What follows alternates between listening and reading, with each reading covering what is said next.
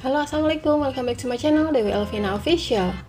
Kali ini saya akan memberikan tutorial lagi. Saya akan menjelaskan bagaimana caranya untuk upload video YouTube kita yang benar sesuai optimasi SEO Langkah demi langkah supaya mendatangkan banyak view dari penelusuran YouTube. Yang perlu disiapkan pertama adalah file video, thumbnail, dan kata kunci. Yang kedua, cara membuat thumbnail sudah ada di video saya sebelumnya ya. Jadi kalian harus stay tune terus di channel ini untuk kalian yang penasaran cara buatnya, tonton terus video ini sampai habis guys, supaya tidak yang terlewat. Langsung aja kita mulai, berikut cara-caranya, let's go, check it out.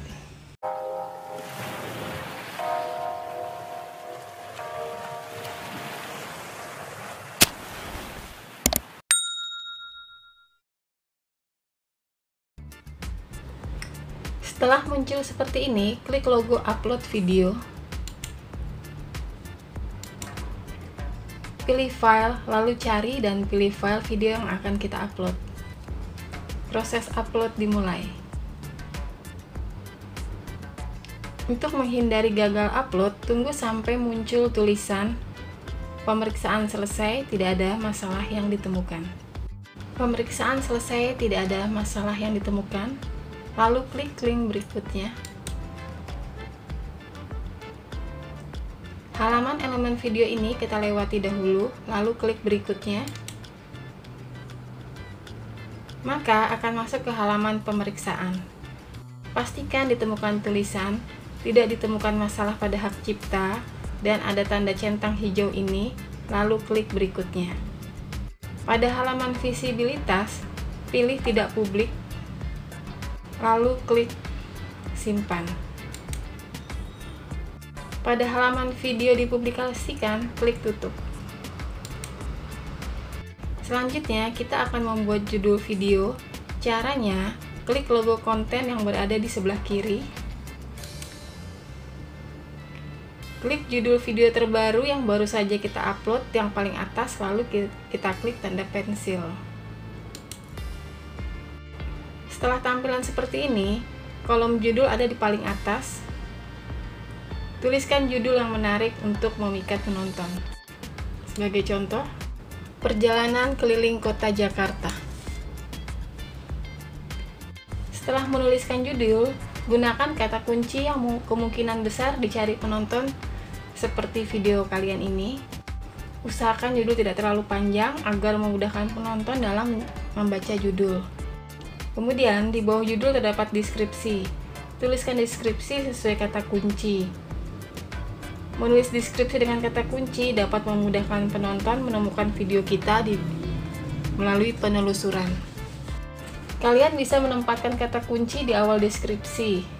Kalau saya biasanya judul ini selalu saya letakkan di deskripsi kemudian baru saya tuliskan deskripsi lainnya.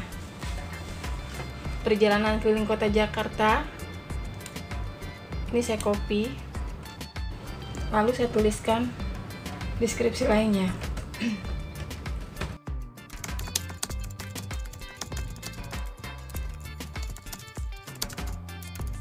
Langkah selanjutnya adalah memasang thumbnail yang sudah kita buat di awal video. Di video saya sebelumnya sudah terdapat tutorial cara membuat thumbnail. Turunkan ke bawah. Di sini ada thumbnail. Klik upload thumbnail.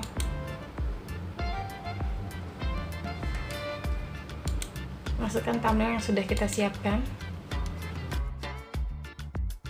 Langkah selanjutnya adalah memasukkan file video kita ke playlist. Turunkan ke bawah. Playlist. Sesuai panduan YouTube playlist dapat membantu penonton menemukan konten kalian lebih cepat. Caranya klik kolom dari playlist. Jika sudah ada playlist masukkan sesuai playlist yang tersedia. Jika belum ada playlist buat playlist sesuai video yang baru saja kita upload ini kita masukkan ke playlist cara membuat. Lalu turunkan pengaturan lainnya, tampilkan lebih banyak.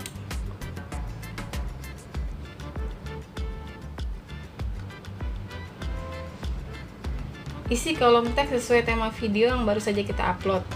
Cara menuliskan seperti biasa tetap menggunakan spasi dan diakhiri dengan tanda koma.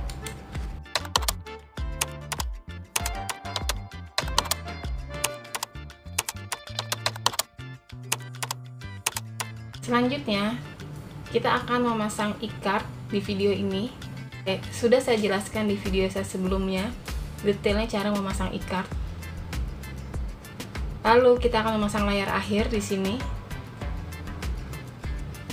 Di sini juga sudah saya jelaskan di video saya sebelumnya sudah ada bagaimana cara memasang layar akhir. Selanjutnya kita ke kolom visibilitas yaitu menentukan kapan video ini bisa di launching ke, ke publik agar bisa ditonton. Caranya, klik kolom visibilitas. Pribadi artinya video ini hanya ditonton oleh kita sendiri. Tidak publik artinya video hanya bisa ditonton oleh kita sendiri. Publik artinya video bisa di launching saat ini juga, detik ini juga ke penonton. Jadwalkan artinya video bisa kita launching ke publik sesuai dengan jadwal dan jam yang kita tentukan. Checklist Premiere artinya kita akan memberitahu penonton kapan jadwal tayang video yang terbaru ini.